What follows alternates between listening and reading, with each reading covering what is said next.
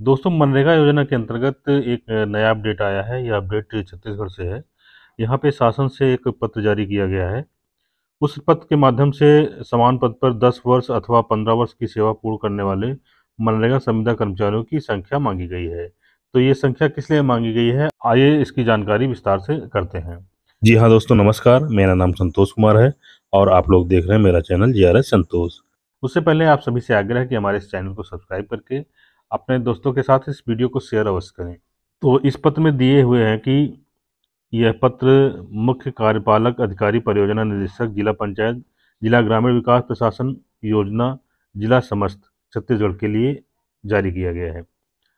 और इसमें कहा गया है कि विषयांतर्गत लेख है कि महात्मा गांधी नरेगा के अंतर्गत राज्य, जिला, जनपद स्तर पर संविदा पर संविदा पर अधिकारी, कर्मचारी कार्यरत हैं।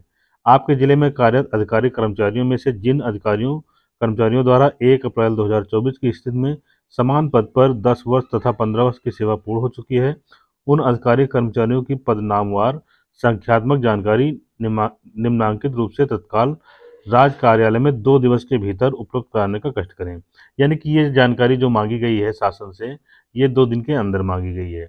इसका नीचे कालम दिया हुआ है कि इसमें किस हिसाब से आप इसकी डिटेल भेजेंगे। इसमें सबसे पहला क्रम संख्या है और दूसरा ज़िले का नाम है, फिर पद का नाम है, फिर स्तर जिला जनपद, उसके बाद दस वर्ष की सेवा पूर्ण करने वाले कर्मचारियों की संख्या और उसके बाद लास्ट में है पंद्रह वर्ष की सेवा पूर्ण करने वाले कर्मचारियों की संख्या। ये बताता हूँ कि इस पत्र में किन किन कर्मचारियों को शामिल किया गया है, लोगों की सूचनाएँ प्रेषित की जा चुकी हैं। आइए हम दूसरे पत्र में जाते हैं। ये दूसरा पत्र है जिसमें जनपदों से सूचनाएँ प्रेषित की जा रही हैं। यह दुर्ग जनपद का है। इसमें जो कार्यक्रम अधिकारी, जो, इसमें जो कर्मचारी लिए गए हैं, उनके नाम मैं बताता हूँ।